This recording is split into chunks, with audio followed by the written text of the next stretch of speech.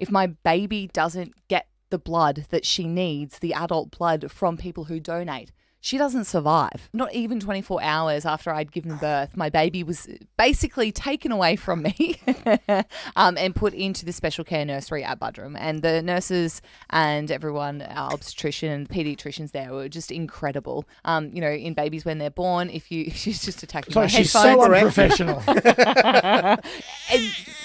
And- and- Luna, we're so- trying to talk. We're trying to talk about you, mate. Her jaundice levels were dangerously high, so she was under blue lights, and, and that's when we knew that there was a problem there. From then on, I guess six weeks of a lot of anxiety. Nugs, you were just so scared. Yeah, lots of late night phone calls between my little mate and I. going, I don't know what's going on. Like this is really hard. Um, we spent ten days under lights um with Luna as well. We didn't really know what was going on, and it took a while for the do- diagnosis to come through. That the reason that she was so yellow and so jaundiced is her blood was breaking down, and it meant that it was spitting out bilirubin, which was making her yellow, the stuff that makes you Yeah. jaundice. yeah. Hereditary spherocytosis is her blood condition, and Neither one of us is going to attempt to say that. How so rare I'm- is that? I'm glad you did. it's pretty rare. But just an update.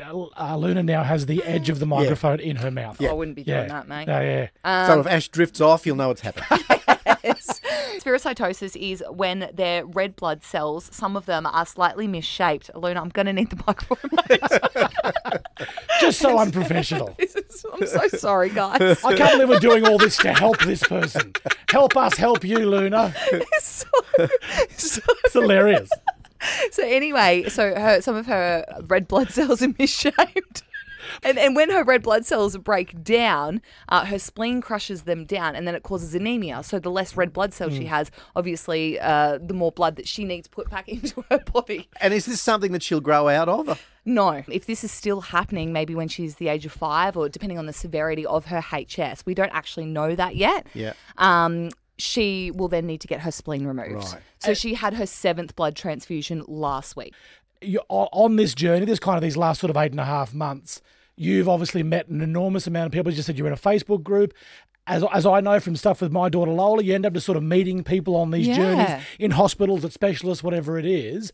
And you've learned, and it's just sort of really crystallized for you just how important what we're doing here with Bloody Oath, mm. just how vitally important these blood donations are. It, it, it hurts me to say it, but at the end of the day, it's actually the reality. If my baby doesn't get the blood that she needs, the adult blood from people who donate, she doesn't survive.